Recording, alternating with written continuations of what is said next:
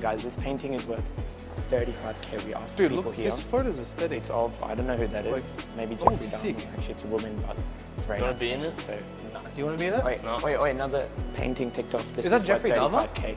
It's a woman.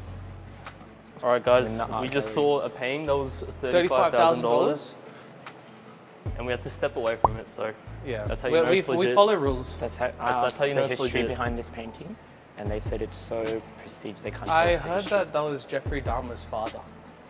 That's a woman. Oh. Oh, it's 2022. It could, it could be a woman now.